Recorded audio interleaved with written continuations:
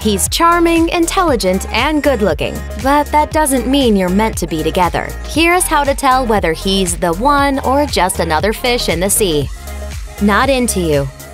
Your quirks make you unique, and the person you're with should love your quirks, not find them annoying. If he can't stand it when you sing along to the radio and you hate the way he dresses, there's a problem. You won't like everything about your partner, but you should like most things. If the person you're with irritates you every single day, you may want to rethink the relationship. Don't be with someone you merely tolerate. Choose someone who loves those funny things you do. Wet blanket. It's fun to order in and binge Netflix, but sometimes you want to do something new. If you want to hit the town and he's only interested in hitting the couch, he may not be willing to compromise or try anything romantic. Choose a new guy who's okay with getting out of his comfort zone and share adventures, even if he has to put on some pants to do it. Best Friend Pass your friends know you well. They're the ones you spend the most time with, and they were there before this boyfriend ever came into the picture. But if they don't like your new guy, there is probably a reason why. You may be blind to his imperfections because you're too focused on how perfect you think he is. But if your friends aren't on board, there's a chance he isn't the one for you. Comfy and cozy.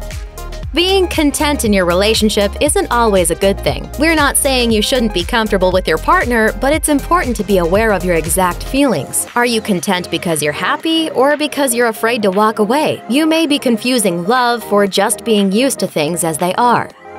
No better half. Your guy should make you feel like a better person, not bring you down with criticism and unhelpful advice. You deserve someone who helps you grow and makes you feel like you have endless potential. He should be your biggest cheerleader and the person you trust more than anyone. If he doesn't enhance your life, find someone who does. Polar opposites. So he likes staying indoors while you like spending time outside. He wants to live in New York and you love the West Coast. Differences are exciting if you can find a middle ground. After all, relationships take compromise. But it's important to make sure you're not changing who you are just to make your partner happy. Don't forget to stay true to yourself.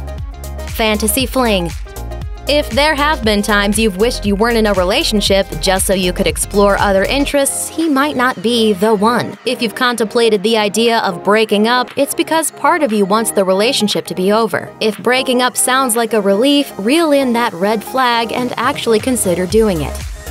A dim future. If you can picture a life with him, but that life doesn't excite you, it's a huge sign that you're settling. Just because he's a nice guy doesn't mean he's the guy for you. Be honest with yourself so you don't waste any more of your time or his. Both of you deserve to be with someone you see an exciting future with. Don't settle.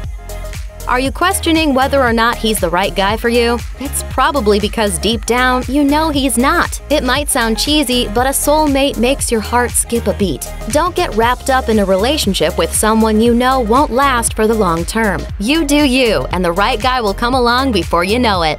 Thanks for watching. Click the list icon to subscribe to our YouTube channel. Plus, check out this other cool stuff we know you'll love too.